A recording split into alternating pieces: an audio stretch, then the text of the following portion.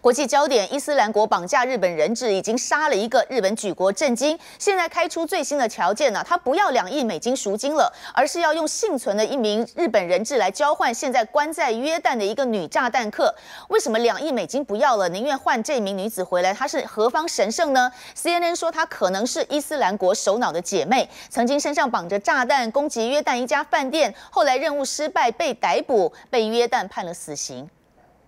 穿着大衣包着头巾，雷沙维看起来就像一般的穆斯林女性，但解开扣子，腰间绑着整整一圈的爆裂物，才知道她绝非善类。美国媒体说她可能是 IS 首脑巴格达迪的姐妹，让极端组织宁愿舍弃两亿美元赎金，也要用幸存的日本人质从约旦手中交换她的自由。两千零五年，雷沙韦汉先生从叙利亚持假护照入境约旦，策动炸弹攻击首都安曼的一间饭店，顿时成人间炼狱，造成四十七人死亡。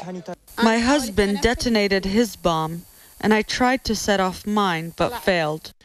雷沙韦任务失败，被捕后辩称炸弹攻击是他先生的主意，更控诉警方刑求，但仍旧是被判处绞刑，囚禁至今。